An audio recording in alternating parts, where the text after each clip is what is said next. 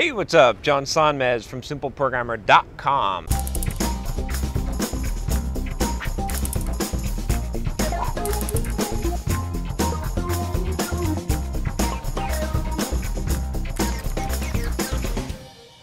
So got a question about game development.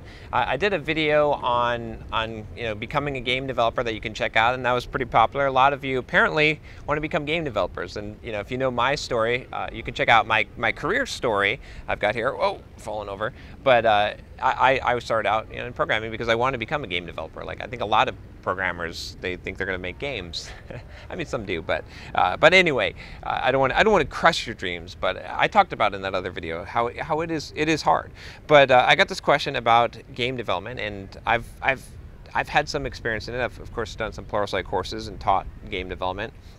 But uh, this this question says, "Hi, do you think uh, I need to know OpenGL and or DirectX to be a game developer. I've been seriously studying C++ for over three years. My condolences. Uh, I've also used Unreal Engine slash C++ for small projects with a team of one person. Yep. Uh, I do want to become a game developer, but I don't like coding graphic applications with OpenGL and DirectX. I don't blame you. that's that's not, not that's challenging and somewhat boring stuff. Okay, is it really necessary? Should I hardly engage myself to study that stuff, or can I simply keep studying C++ and everything else about game algorithms, problem solving, and such? Thanks very much. So you know, a great invention came along here, which is this this phone, right? that, that the mobile device.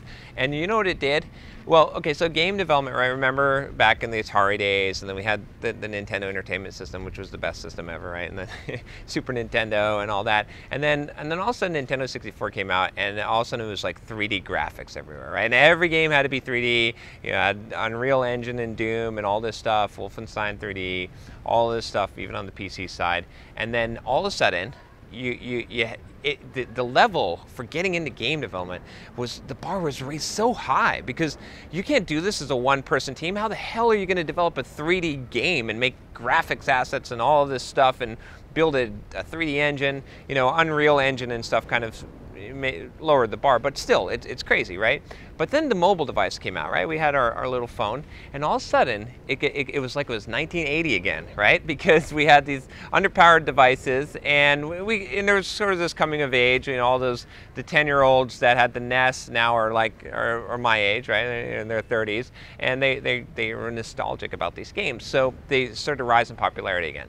So the reason why I'm telling you this is because now is a great time to be a game developer, an independent game developer by yourself, because you can actually build games that are simple, have simple graphics that you could actually code up that don't need DirectX and and uh, and, and 3D graphics, right? And and even complicated. I mean, you can even write games in JavaScript. I did a, a Pluralsight course. You can actually check that out, uh, or you can check out my Pluralsight courses. I did one on on uh, JavaScript game development, right? But you can do really simple games, and you can actually sell them and actually make money. Although, again, I don't think you're gonna make a huge amount of money as an indie developer unless you strike it rich. I mean, heck, look at well, Minecraft is 3D, but it's it's still pretty simple. But uh, at least it was simple.